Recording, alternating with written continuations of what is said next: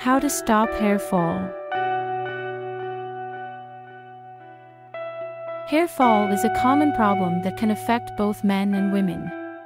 In this video, we're going to share some tips and strategies to help you prevent hair fall and promote healthy hair growth. Number 1. Identify the cause.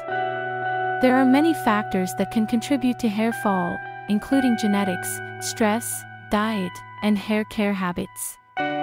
Once you know what's causing your hair fall, you can take steps to address it. Number 2. Maintain healthy diet.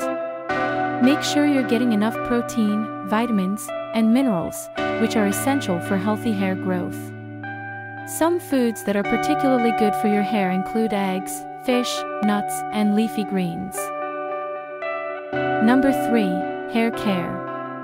Avoid using harsh chemicals or heat styling tools, which can damage your hair and cause it to fall out. Instead, use gentle, natural hair care products. Try to air dry your hair as much as possible. In addition to these tips, there are also some natural remedies that can help promote hair growth and prevent hair fall. Some examples include applying onion juice, aloe vera gel, or coconut oil to your hair and scalp. Remember, stopping hair fall takes time and effort, but it's worth it to have healthy, beautiful hair.